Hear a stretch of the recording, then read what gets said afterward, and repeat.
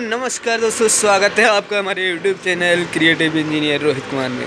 दोस्तों, इस वीडियो में हम आपको बताने वाले हैं कि साइट पे क्या क्या चीज़ें होती है क्या क्या रिस्पॉन्सिबिलिटी होती है आपकी, जिसको फॉलो करना पड़ता है।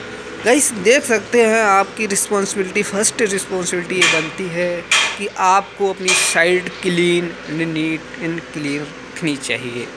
आप देख सकते हैं इस तरह का ये वेस्ट मटेरियल है इसको साइड पे बिल्कुल भी पड़ा रहना नहीं चाहिए। ये साइड पे बहुत ज़्यादा डिफेक्ट पड़ता है इससे। आप देख सकते हो चारों तरफ़ फैला फैला पड़ा हुआ है। इसको तुरंत ही साइड से ऐसा एक, आप देख सकते हैं, ऐसा इकट्ठा करवाना है और कहीं भी एक जगह स्टोर करवा देना है। और इस, देख सकते हैं ये आपका टोटल जितना भी सेटरिंग का मटेरियल है ये निकाल के तुरंत स्टोर करवाना चाहिए, एक जगह पे इकट्ठा करवाना चाहिए, जैसा कि आप सामने वहाँ पे देख सकते हो, एक जगह पे स्टॉक है। और ये तुरंत तुरंत, क्योंकि ये जब तक इधर उधर फैला फैला पड़ा रहेगा, तब तक आपको साइट जो भी विज़िट करने आएगा, उसको बिल्कुल भी पसंद नहीं आएगा।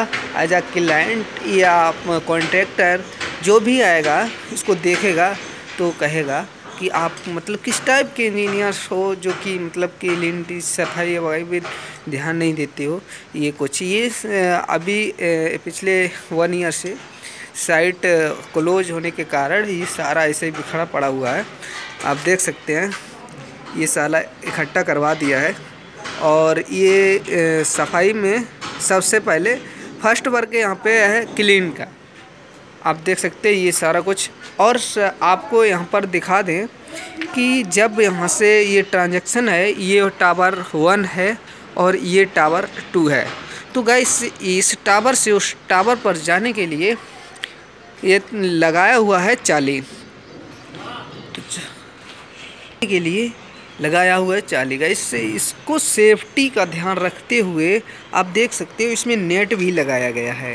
जैसे किसी का भी अगर पैर वगैरह फिसलता है तो वो डायरेक्ट आप नीचे से देख सकते हैं, काफ़ी हाइट है।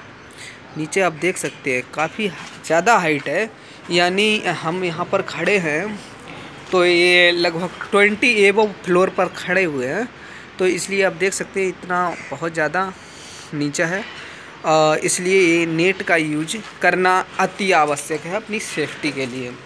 तो गाइस आप देख सकते हैं और प्रॉपर वे में इंजीनियर्स को साइट पे रहना है, अपनी वर्दी पहननी है और हेलमेट तो अति आवश्यक है। आप खुद भी हेलमेट पहने और अपने जो साथी हैं, उनसे भी बोलें।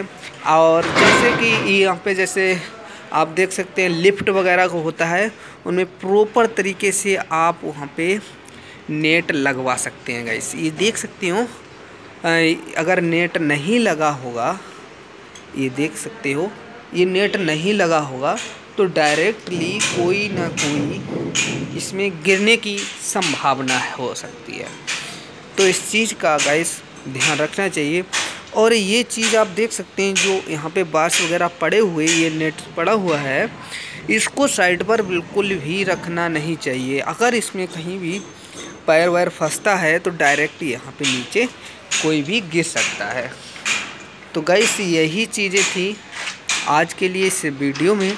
और आगे भी हमारे इस साइट से रिलेटेड वीडियो देखने के लिए हमारे चैनल को सब्सक्राइब कीजिए और बेल आइकन को प्रेस कीजिए, जिससे कि आने वाले नोटिफिकेशंस आपके पास सबसे पहले पहुँचें और हमारी वीडियो आप वाच कर सकें गैस ये भी आप देख सकते हैं यहाँ पर बाहर आउट की साइड वर्क चल रहा था, इसलिए यहाँ पे ये नेट लगाया गया है।